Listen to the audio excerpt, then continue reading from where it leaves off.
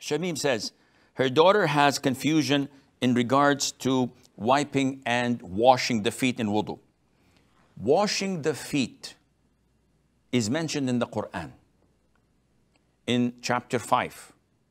So when we perform wudu, we wash the feet thoroughly with water. There's no problem in that.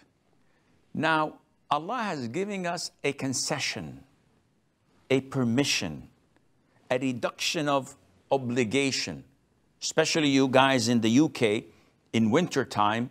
It is so cold. I've been there. I love the country. I love the people. When you wash your feet for Fajr, God, this is too much. It's cold, especially if the heaters are not working on, on the spot.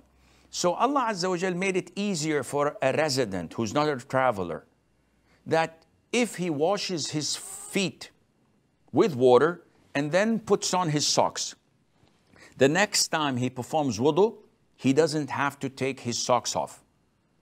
So he performs normal wudu when it comes to washing the feet with wet hands. So the hands don't have water in it, they're just wet.